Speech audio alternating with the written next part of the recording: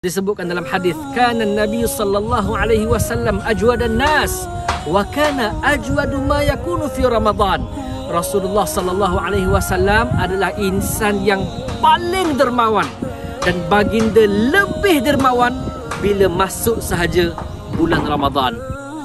Assalamualaikum warahmatullahi taala wabarakatuh. Saya Al-Faqir Ustaz Muhammad Fakhrul Razi bin Hussein, Ketua Pegawai Operasi Akademi Al-Quran Amalillah. Tuan-tuan, puan-puan yang dirahmati Allah Subhanahu wa taala sekalian, tuan-tuan, puan-puan nak tak menjadi sebahagian daripada insan-insan yang terpilih dipilih oleh Allah Subhanahu wa taala yang terlibat untuk melahirkan seramai 3000 orang hafiz dan hafizah Al-Quran dalam masa satu tahun menjelang tahun 2025. Misi kami by the year 2025 insya-Allah kita akan berjaya melahirkan seramai 3000 orang hafiz dan hafizah 30 juzuk Al-Quran yang berjaya menghafal dalam masa satu tahun atau kurang. Dan inilah tempatnya untuk sama-sama kita merealisasikan bekerja ke arah itu insya-Allah.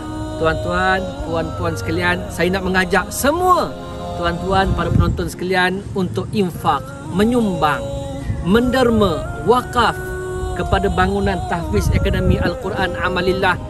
Bangunan kita semua ini kos keseluruhannya adalah berjumlah 5.5 juta ringgit saja. Allahu Akbar, jumlah yang pada pandangan kita sangat besar tapi di sisi Allah Subhanahu wa taala yang besar adalah infak dan sumbangan tuan-tuan semua. Lebih-lebih lagi di bulan Ramadan Al-Mubarak ini. Subhanallah, Nabi sallallahu alaihi wasallam disebutkan dalam hadis kana Nabi sallallahu alaihi wasallam ajwadan nas wa kana ajwadu ma yakunu fi Ramadan.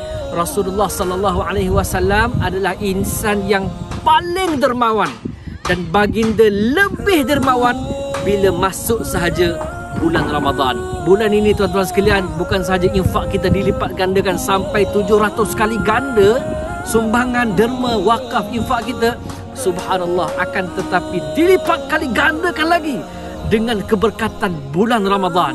Jumlahnya wallahu a'lam. Wallahu yudha'ifu liman yasha. Allah sahajalah yang berhak melipat gandakan pahalanya kepada sesiapa sahaja yang dia kehendaki. Tuan-tuan sekalian, sama-sama menyumbang. Boleh hubungi kami di Akademi Al-Quran Amalillah, rujuk nombor akaun yang tertera